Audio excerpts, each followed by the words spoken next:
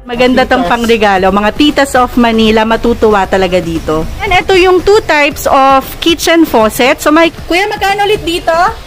Kung naghahanap man kayo ng unique, mura at quality na bathroom supplies, one-stop shop na supplier, keep on watching.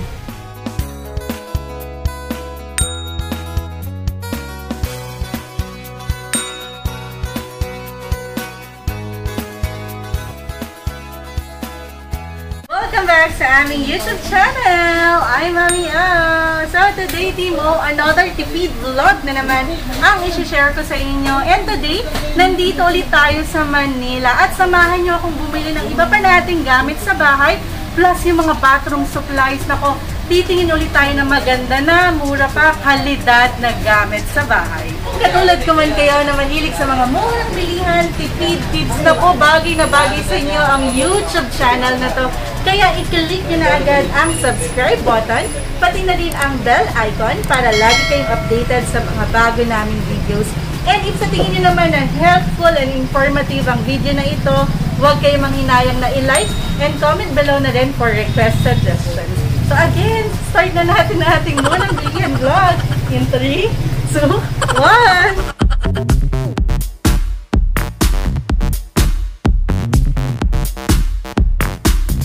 Bago rin syempre kayo bumili ng shower nyo, kailangan yung i-consider yung kakailanganin nyo. For example, meron kayong water heater, so dapat ganito yung bibilhin nyo. So, uh, pwede siya for hot and cold. Pero kung regular lang talaga, so pwedeng ganito yung bibilhin nyo. Single lang. So, oh, single. So, ganito siya. Pero, in case naman na magbago yung isip nyo, yung possible kayong mag-water heater. So, ito, pwedeng pwedeng kayong magganito, yung may abang na. So, ganito yung bibilhin namin, yung may abang na, para in case na talagang magbago yung isip namin na gusto naming palagyan ng water heater. So, ito, pwedeng pwede yan. Yan yung mga designs nila dito. So, makikita nyo naman na ang ganda ng pagka-black and puro bago yung designs niya. So, yung ganito po ba? Ba, ba, ba, ba? Wala ba?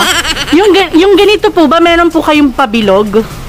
Yung pwedeng, ah, ngayon, puro square. Kasi ito talaga yung nauuso ngayon, puro square. Tas black. So, talagang if gusto nyo talaga mabigyan ng magandang accent yung bahay nyo, plus yung ah, medyo edgy yung style. So, yan, pwedeng pwede yan. If interested kayo sa mga ganitong design, i-visit nyo yung previous vlog ko dito sa Sky City Marketing kasi detailed talaga yan. Pinakita ko yan one by one. Pero in case na gusto nyo din talagang mag-bulk order, so yan, pwedeng pwede nyo silang i-message sa Facebook page nila. So ayan. At ang gaganda rin ng mga faucet nila dito. So ito yung matataas. Ito magaganda rin to for kitchen para hindi basta-basta nagagalaw. So mas ma, ah, mas malaki pa yung space yung magagamit. So ito is 1,200 pesos. Pero yung ganito, na adjustable talaga siya, natitwist-twist yan. So yan is 900 pesos lang. So again, lahat na nakikita nyo naman dyan is display items lang. Meron silang mga stock. And ito yung two types of kitchen faucet. So makikita nyo halos mukhang pareho lang, 'di ba? Pero yan, ito kasi is coated lang siya ng itim. Pero ito is nano black siya. Talagang nakaluto yung pinakaitim niya dun sa pinaka faucet. Kaya hindi talaga siya magraras, hindi siya magbabakbak. And yung presyo niya konti lang yung difference. Kaya dito ka na lang sa mas kalidad. So this one is 1,200 pesos and this one is 900 pesos naman. And pwede yan pare-pareho yan na natitwist. So perfect talaga to for kitchen. Yan, kung gusto nyong buksan, bilhin nyo na lang. Pero ayan, syempre pwedeng pwede nyo din namang ipatest yan in case na talagang sure kayong gusto niya lang bilhin. Or kung malayo talaga kayo dito, pwedeng pwede nyo silang or, ah, mag-order sa Shopee nila. If nakita nyo man yung pinost namin sa Facebook namin about dish rack, na sobrang ang dami talagang naging interested, na binili namin yon sa online din. Pero dito mabibili nyo na yan. So pwede nyong isabayan sa iba nyong bathroom supplies. So ito kasi maganda rin talaga. So meron ka ng patuluan ng mga plato mo, baso mo. So ayan. And then meron pang lalagyanan ng ito, ano ba to? Basta pwede siyang lalagyanan ng pang dishwashing liquid nyo. Then ito, pwede nyong lagyan yan. Ano yung Chopping board. chopping board yun. So pwede nyo nang lagyan ng chopping board. So ito is yung pang ah, single sink, yung size niya. And then, merong dalawang ganitong rack sa ibabaw. So, pwede nyong lagay yung mga plato nyo dyan. So, this one is 1,000 700. So, yung ganito is 1,700 pesos. Pero meron dyang tatluan in case na ganito yung size. Ng sink nyo. And then, mas malapad yung taas. So, this one naman is 1,900 pesos. And then, may ganito siya. Talagang may mga patuluan siya. Meron pang mga lag- lalagyanan ng ganito. And then, this one.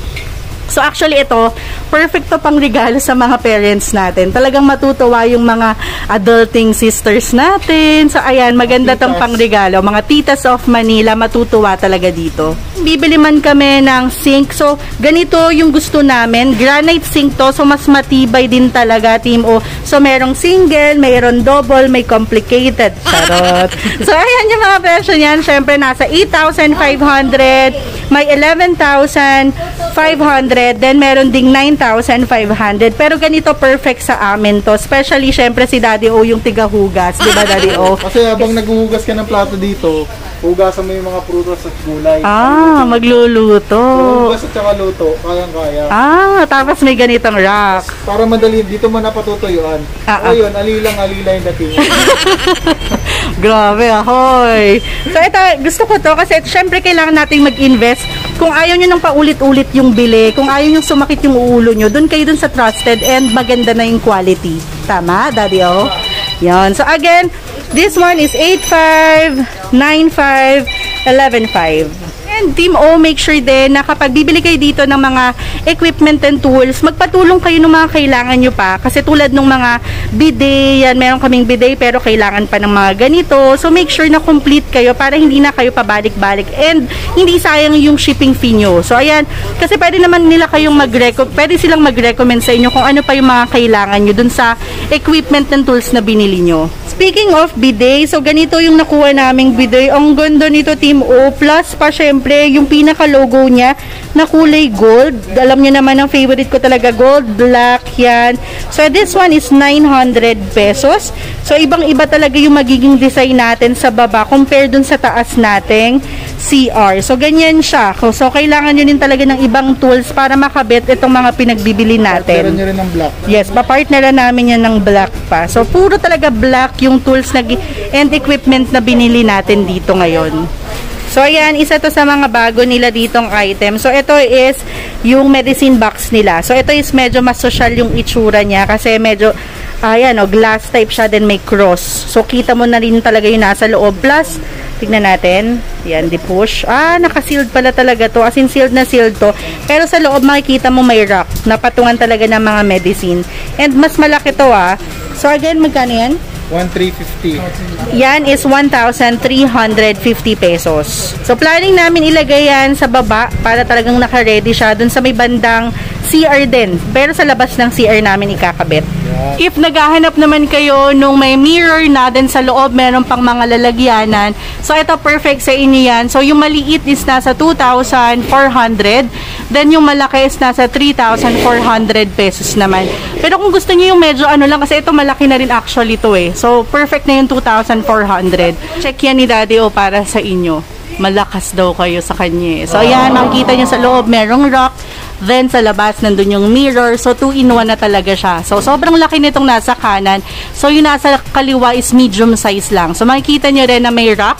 Then, additional pa yan if ever na gusto nyo ng dalawahang ah, baitang. Ah, dalawang baitang. Wow, very Filipino ah.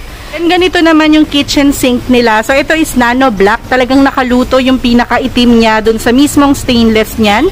So, ito maganda rin to para, kasi malalim siya eh. So, hindi siya matalsek in case na maghuhugas-hugas kayo ng pinggan nyo or mga pinaglutuan nyo.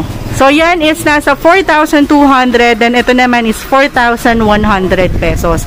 Pero kasi kami, sabi ko nga kanina, is magdudual kami.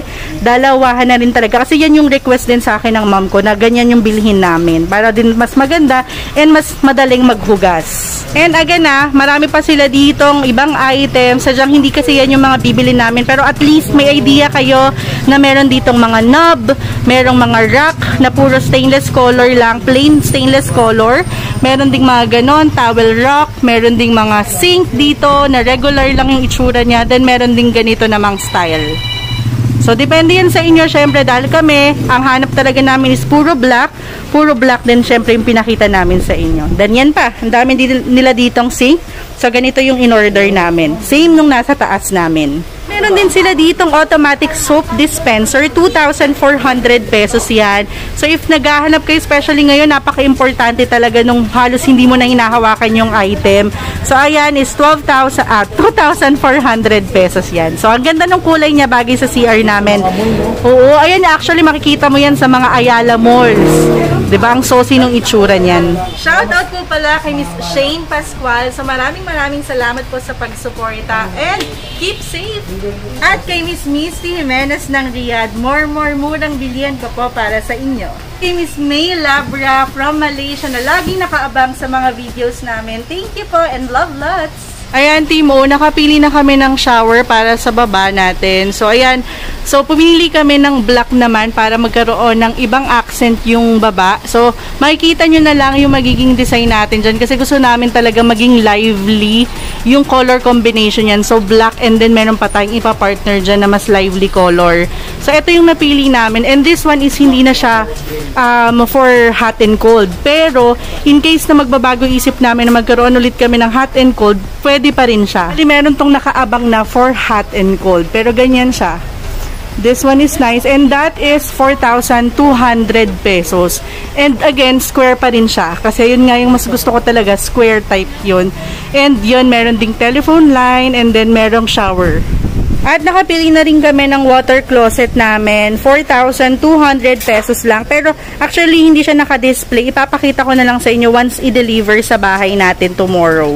Ito naman yung magiging faucet natin. So yan, naka-black din talaga. So halos lahat talaga ng magiging uh, fixture natin sa baba is puro black. So ayan yung faucet. So, hindi rin siya for hot and cold. Pero may abang na po ba to in case na magbago isip namin? Or for ano lang talaga to? Regular lang? For regular lang. Regular lang. So, ayan yon So, that is 700 pesos po, no?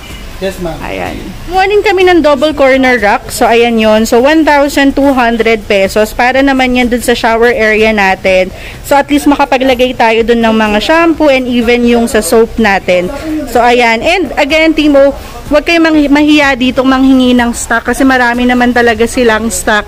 Para din syempre, bagong-bago yung makukuha nyo. So, halos lahat naman talaga na nakikita nyo dyan is display items lang. And meron din sila ditong exhaust. So, if ever rin na mga naghahanap kayo for kitchen nyo, so ayan, meron sila dito. Ito is nasa 3,000 pesos lang. And then, yung nasa taas na talagang stainless color lang siya, that's 3,000 800. 3,800 naman yung nasa taas. But again, Team O, syempre, pwede nyo ring i-check uh, from time to time yung presyo nila dito kasi pwede rin yan, syempre, tumaas or if ever bababayan kapag nag-promo sila. Pero hindi kami nakita ang ganito dito. So, ito yung cutlery rack. So, ito yung mga usually nilalagay sa mga cabinet sa ilalim ng sink mo sa kitchen. So, ayan, meron sila dito. This one is 350 pesos.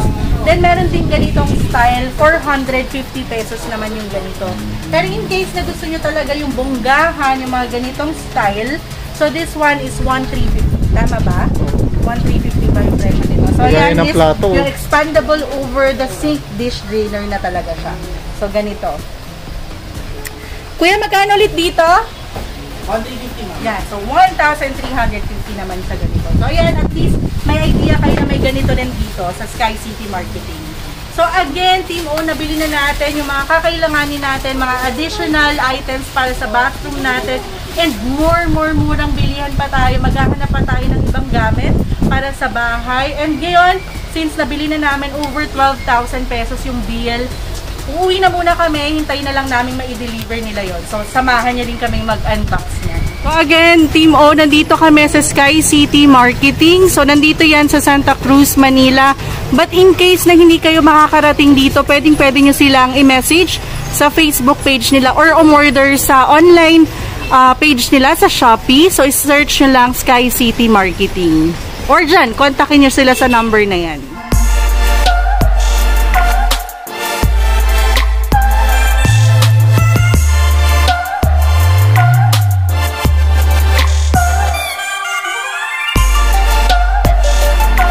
Ito yung magiging storage namin sa ilalim ng hagdan. So, ayan, nakabit na yan. So, ayan, pinapantay na lang din to. Tapos, magkakaroon lang dyan ng pinakalagayan ng TV. So, ganito yung magiging likod. Ito yung magiging storage sa ilalim ng hagdanan. So, ang laki pa pala ng space na to. So, dito makakapaglagay kami ng mga pangbahay na damit para after maligo, dito yung CR, dito na pwedeng magpalit. And then, maglalagay din kami dyan ng mga iba pang, it, pwedeng itambak para hindi makalat sa bahay. Then, yung pinaka-cable ng TV, dito ipapasok yan para lahat ng mga kable sa labas, dito na lang sa loob para walang exposed cable. Kung makikita nyo, sobrang flat lang dito. Dyan ikakabit yung TV. And then, pagdating dito, ayan na. So, sobrang ganda and sobrang luwag pa ng storage namin dito. Kung maaalala nyo, ayan, butas dapat yan. Pero, pina-close na namin. And then, dito, plano namin magpalagay ulit ng cove light. Ayan. So, inaayos na lang din yan. So, okay na rin tong tiles namin. So, lahat na nalagyan. Ganyan, makikita nyo pa rin na sobrang dami pa rin naming mga outlet dito. Diyan, diyan. Sa likod may outlet para sa TV. Then, may isa doon, may isa ulit dito. So, sobrang dami. Pati pa pala doon meron. So, tulad nga ng sinabi ko before, mas magandang marami kayong outlet para hindi rin kayo naghahanap basta-basta ng pagsasaksakan ng mga appliances nyo. Dahil si Daddy ay saksakan ng pogi. Ah, sakso ako ng pogi daw. Yung mga nag-iisip dyan kung ano mga pwede nilang gawin dun sa ilalim ng hagdan. So, yan, pwede yan lagyan ng sofa, pwede yan gawing storage, pwede din yan yung sa may, sa, sa may TV na part.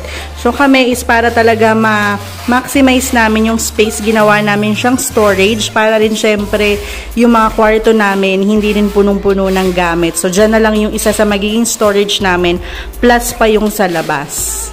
Bale, ito na yung mga in-order natin sa Sky City Marketing. Dumating na yan. And also, yung mga ilaw, nandito na rin. So, almost yung mga ilaw pang sa taas pa lang yan. Wala pa dito. So, ayan, nandito na yung mga uh, toilet bowl, yung shower, and other uh, items para dun sa bathroom natin. Makikita nyo na puro puti talaga yung kulay nitong base natin. So talagang magmamatter yung kulay na bibilihin nating furniture tsaka yung mga pang-decor dito sa bahay. So yan, pati yung lapag namin puting-puti.